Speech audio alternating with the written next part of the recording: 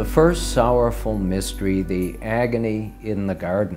Matthew, Mark, and Luke record the agony of Jesus in the Garden of Gethsemane. Here Jesus sees the full extent of his coming sufferings and death and pleads with the Father to let this suffering pass him. But Jesus knows and does the will of his Father. Not my will, but thine be done, he prays. Jesus' agony is so intense and total that he sweats blood, and he endures this for each of us praying this decade of the Rosary with our Blessed Mother, let us ask her to help us cultivate the virtue of resignation to the will of God in our lives, just as she did.